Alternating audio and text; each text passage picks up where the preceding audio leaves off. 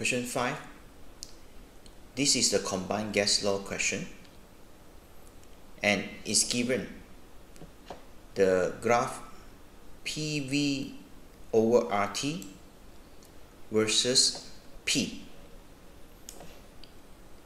and is asked which graph correctly represent the results. So either is A, B, C or D, how it looks like. So we need to start with the combined gas law equation. PV equal to nRT. We try to rearrange the parameter.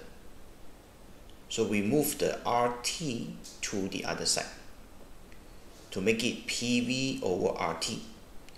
So PV over RT is equal to N.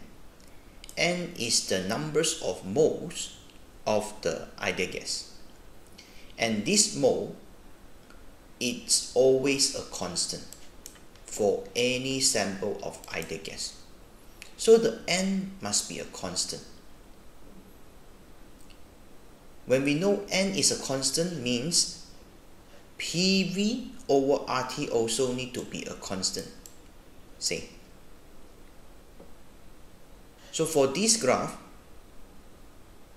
means at any pressure the mole or this PV over RT it's going to be the same because it's always a constant. So answer is C. So that's all for this question. Thank you.